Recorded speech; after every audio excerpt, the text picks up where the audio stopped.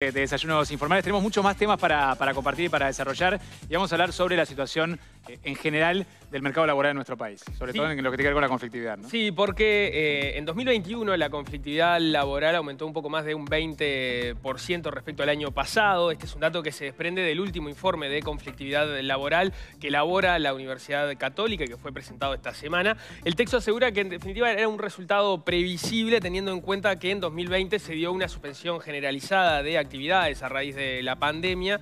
De hecho, y en comparación con años anteriores, el índice de conflictividad laboral se ubicó en niveles intermedios hasta noviembre de este año, que fue lo que se, midió. Eh, vamos a profundizar sobre este tema y por eso estamos en contacto con Eloísa González, que es directora del Departamento de Estudios Organizacionales de la Universidad Católica. Eloísa, ¿qué tal? Buenos días. Hola, buenos días. ¿Cómo estás, Nicolás? Bien, bien, muy bien. Gracias por atendernos. Eloisa, eh, capaz contrario, gracias a ustedes. Capaz que conviene arrancar explicando eh, de, qué va el índice de conflictividad laboral. en realidad es un clásico, vienen realizando sus estudios desde hace muchísimo tiempo, pero para quienes no lo tienen presente, ¿qué, qué es exactamente lo que miden? Sí, buenísimo. Eh, es bien importante esto porque el, índice de conflictividad laboral, si uno mira solo el número, no nos dice como mucho. Vos decías recién aumentó, pero bueno, es bien interesante ver que este, desde el año 95 nosotros este, eh, medimos la conflictividad laboral y em, lo que mide este, concretamente son las jornadas que se pierden de trabajo las jornadas que se deberían haber trabajado, pero que se pierden por un conflicto, por un paro, por una huelga, ¿no? Entonces, eh, en definitiva, no incluyen otras medidas que no involucren paros. A veces sucede que hay, una, eh, hay conflictividad por otros temas, pero que el índice no las incluye. Entonces, eh, metodológicamente, digamos, estadísticamente, es un numerito que se calcula desde el año 95, que conceptualmente viene este, con respaldo de la Organización Internacional del Trabajo, seguimos la metodología del OIT para calcularlo esto lo hace pasible de ser comparado con otros países, lo cual también es interesante. Y eh, en definitiva, mide eso, es una tasa que se puede comparar en el tiempo. De hecho, nosotros la comparamos con el año pasado, cuando vos decías recién aumentó un 20,6% en relación al 2020. Por eso estamos con un aumento de la conflictividad digamos, intermedio. Ahora después vamos un poquito más a explicar ese número, pero eh, eso es bien importante. Y otra cosa que es importante es que esto es un estudio académico de investigación y por lo tanto también tiene un respaldo teórico, conceptual. Y desde ese lugar nosotros miramos la conflictividad dentro de las relaciones laborales. Las relaciones laborales son relaciones entre personas que están negociando, que están buscando mejores condiciones de trabajo, mejores salarios. O sea que son este, personas de la sociedad, que actores empresariales, actores sindicales y, y bueno, intermediarios del gobierno que están intentando buscar soluciones a problemas reales, ¿no? Y esto implica que son personas buscando solucionar cosas en distintos escenarios. Conceptualmente nosotros miramos, y ustedes lo pueden ver en el informe, que esto pasa en distintos contextos, contexto económico, contexto eh, social distinto, contexto político, cada actor tiene su ideología, cada actor se mueve en un escenario que va modificando, por ejemplo, pre y post pandemia, hay diferencias significativas. Entonces es interesante ver el número y ver que aumentó ese 20,6, pero también ver qué está pasando en ese momento paralelamente en la sociedad y, y bueno, y en el mundo, en este caso con la pandemia y la emergencia sanitaria para entender este, un poco más ese, ese numerito. Y, a propósito de eso, entonces, si empezamos a profundizar en esos números, ¿qué nos dice ese, ese 20,6%? Que como vos señalabas, es un aumento respecto al, año anterior, pero es un aumento este, intermedio que nos, de hecho nos ubica en niveles de, este, que ahí, vemos, estamos viendo la, placa, por debajo, digamos, del promedio de conflictividad global que, que se tiene habitualmente, ¿no? Sí, exacto. Eh, digamos, eh, de nuevo, el contexto, ¿no? Ese 20,6 significa que aumentó en relación al año pasado. El año pasado fue un año totalmente atípico porque hubo una emergencia sanitaria mundial, ¿no? En Uruguay particularmente, nosotros en el 2021 tuvimos como dos mitades del año bien distintas. Si miramos el contexto económico y el mercado de trabajo, el primer semestre del año nosotros tuvimos este, como la parte más dura de la emergencia sanitaria. Y en el segundo semestre del 2021 empezamos a repuntar y vieron que eh, desde ese lugar nosotros desde septiembre venimos diciendo el índice va en ascenso y bueno, y, em, empieza, aumenta la presencialidad, la gente empieza a volver a sus trabajos, los trabajadores también empiezan a, entender que empieza a existir más margen estratégicamente para, bueno, para sus demandas, para defender los derechos y, y paralelamente esto como que empieza a, a, cursa como de la mano, ¿no? Como con otros temas, empieza a mejorar algunos sectores y bueno, y y, concretamente se empiezan a ver, empiezan a existir medidas, empiezan a haber más paros y esto hace que hoy nos coloquemos en un 20,6%, que en realidad es una conflictividad, según nuestras estadísticas, de nuevo, según el número que nosotros hacemos, es una conflictividad intermedia, no es alta pero eh, que va en ascenso y que, probablemente siga aumentando. Nosotros eh, este número lo cerramos al 30 de noviembre y es eh, bien probable que, ahora en diciembre, digamos, continúe en ascenso porque ya ha habido un conjunto de paros importantes que no están contabilizados en ese número. Sin embargo, es bien... Es bueno ver que este, depende de la calidad del conflicto, qué repercusiones tiene en la sociedad y cómo lo vemos nosotros, bueno, la prensa, en, ¿no? ¿Qué impactos económicos tiene? Un conflicto puede ser bien distinto a otro y esto genera distintas sensaciones. Por eso también esto que se ha discutido en estos últimos días de la sensación térmica altísima de la conflictividad versus lo que a nosotros nos da el índice, que es el único índice en realidad en Uruguay que se calcula y que tiene la particularidad de medir solo los paros y la cantidad de involucrados que hay en esos paros. Ahora, La cantidad de gente que se adhiere. Cuando, cuando veíamos lo de los años anteriores, ¿está tomado todo el año o también hasta noviembre, como en este caso? No, todo el año, todo el año. Quizás... Es, eh, eh, es todo el año, de hecho, vieron que nosotros... Eh, digamos, como se calcula desde el 95, lo que solemos hacer es mirar tendencias naturales que suceden, por ejemplo, todos los segundos años de gobierno, todos los periodos de rondas salariales o de rendición de cuentas o eh, situaciones, digamos, del mercado de trabajo o del, del, país sociales que sabemos que disparan el índice. Y, el comentario ahí es que, es que en realidad en los segundos años de gobierno ha habido más conflictividad que ahora. Si ustedes miran el 2016, se disparó muchísimo más, por ejemplo, que, que en este momento. Pero también es importante. Y ahí, en el informe ustedes señalan, por ejemplo, que eh, en referencia a eso que decís, que en este año particular, cuando se votaba o se discutía la rendición de cuentas o en la ronda salarial, no hubo un aumento eh, de la conflictividad notorio. Claro. Este, como sí ocurre, como tú decías, como ha pasado en otros años y en particular en el segundo año de gobierno. Este año no, no ocurrió eso. Totalmente. Y vos fíjate que eh, incluso la ronda de, salarios, veníamos de una ronda de negociación puente, con pérdida de salario real. Esperábamos, de cierta manera, que en la ronda, eh, nosotros lo decíamos hace unos meses, quizás aumentara más la conflictividad, que hubiese más paros, más allá de que hubo un conjunto de paros, por ejemplo, el de la FOICA, que, que fue este, eh, que impactó en el índice, que, que digo, que, son paros que, involucran trabajadores y que fueron por, por la ronda, por conflictos por la ronda. Si vos miras la conflictividad por causas que nosotros hacemos, estás muy equilibrada. Habitualmente, históricamente, la reivindicación salarial es lo que dispara el índice paros por reivindicaciones salariales. Hoy estamos terminando una ronda de negociación, 182 subgrupos cerrados, casi, digo, están terminando. Hay algunos conflictos por este tema, pero me refiero a que pensábamos que iba a haber más. Y, verdaderamente no se disparó la conflictividad por el tema de la negociación salarial. Eh, esto se explica por, varios motivos. Yo creo que, obvio que lo de la pandemia es un factor que, bueno, se viene con, incertidumbre, con, miedos vinculados con esto, pero además porque hubo un, conjunto alto de acuerdos este, que siguieron las pautas de que el Poder Ejecutivo, este, los lineamientos del Poder Ejecutivo, y, incluso un 40% que fue por arriba de las pautas. O sea, también hay, otros sectores que eh, vieron que, bueno, esto por, las dudas que, para aclarar, hay, las pautas del Poder Ejecutivo diferenciaban sectores muy afectados y sectores menos afectados y más afectados, digamos, económicamente. Y, bueno, y ahí hay un conjunto de convenios que, sí eh, se, cerraron por debajo de las pautas y bueno, y van a tener pérdida de salario real y tiene que ver con sectores que son tan muy complicados, producto de la pandemia, y que efectivamente este, no, había otra, otra solución, digamos, pero hay otros sectores que, que, sí lograron este, convenir o cerrar acuerdos eh, con, con, aumentos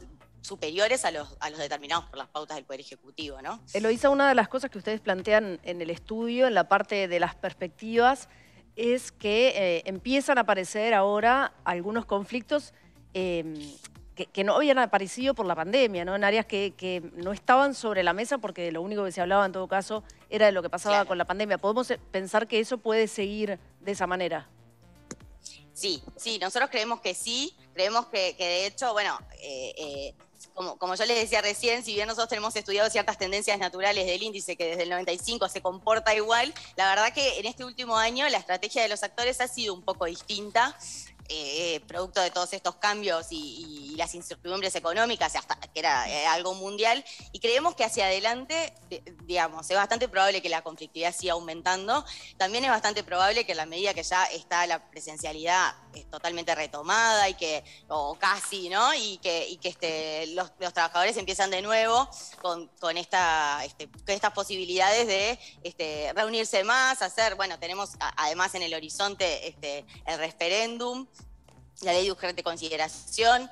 Podríamos pensar que puede venirse algún paro general más adelante mm. también por este tema. Digo, hay algunas, este, eh, algunos hechos que ilustran que no solo los conflictos, de nuevo, no solo que hay una serie de conflictos en diciembre que, se van que probablemente se sigan prolongando y que se han, se han anunciado por algunos sectores que esto va a seguir, sino temas que quedaron colgados, digamos, de las relaciones laborales que son bien importantes porque también se fueron posponiendo, por ejemplo, las este, quejas de los empresarios a la OIT por la ley de negociación colectiva. Mm. Un tema que también puede eh, traer tensiones este, y, que, bueno, que, es algo que, en el corto plazo se va a tener que, este, que se va a tener que retomar, digamos. Hay temas que el gobierno claramente los tuvo que posponer por, por ocuparse de, la emergencia sanitaria, pero que son temas que son relevantes. Hubo menos ocupaciones por, por la LUC, ya que mencionabas la LUC, Eloisa. Hubo cinco ocupaciones, ¿no? Según el informe. Sí, hubo menos. Son menos y es por la LUC directamente porque, porque están prohibidas ahora las ocupaciones del lugar de y bueno, claro, eh, eh, ahora lo que pasa es que al rato se desaloja, ¿no? O sea, sí, este, eso, eso, va a traer, eso también es otro tema este, que está sobre la mesa, igual que el tema de la eh, personería jurídica de los sindicatos, que si bien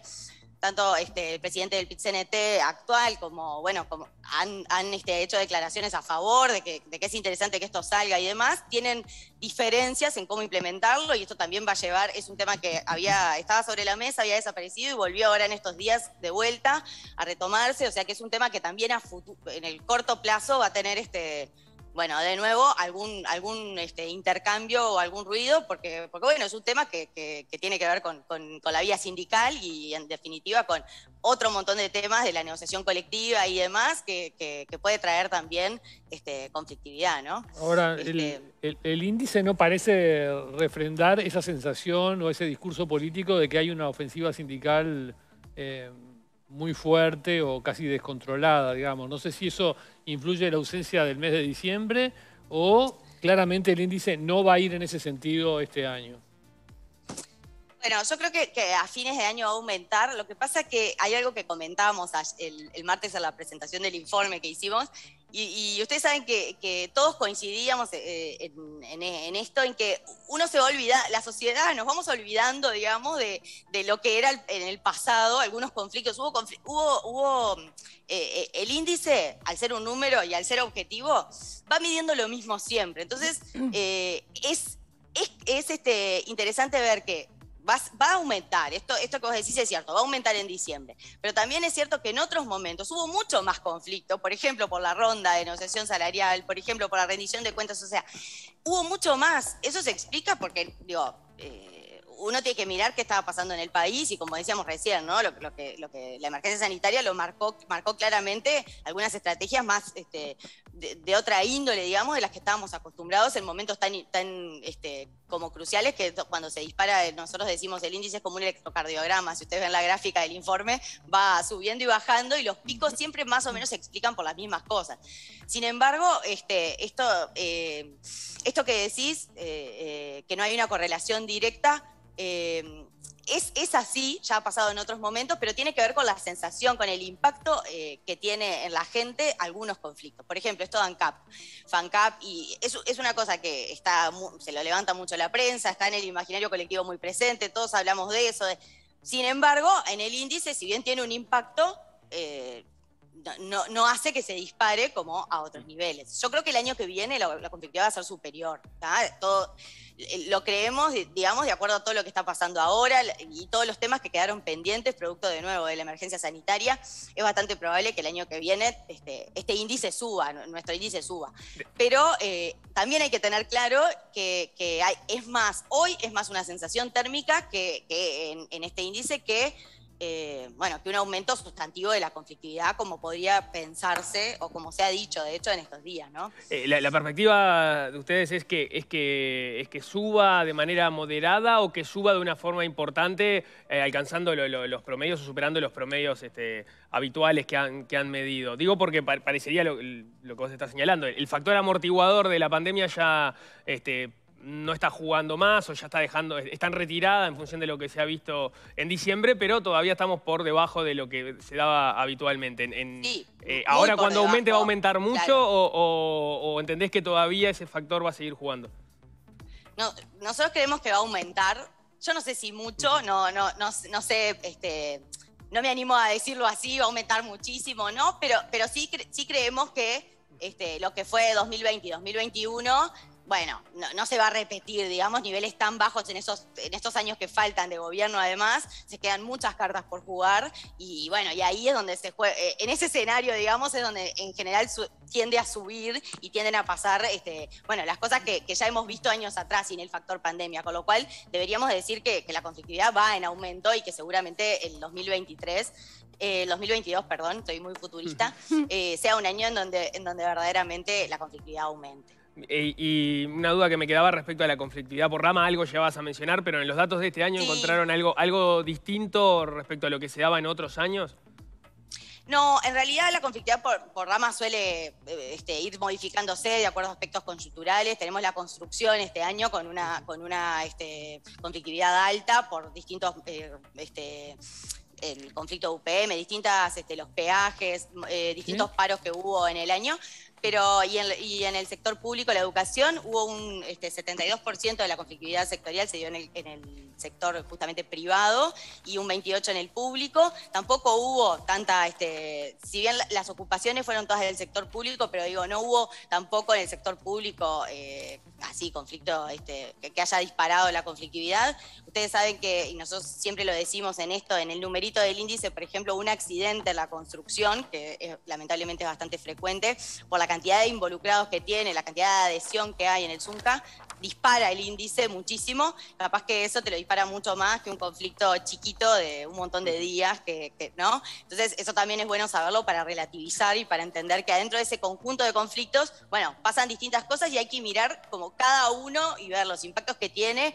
Y bueno, y, la, y, la, y, por eso a veces de algunos se habla más que de otros y eso te da esta sensación térmica. O sea, todas las cosas, vieron que todas las cosas están como, como este, concatenadas, de manera que hay que mirarlas de a una para explicarlo, más allá del número, para explicar qué, es lo que va a pasar.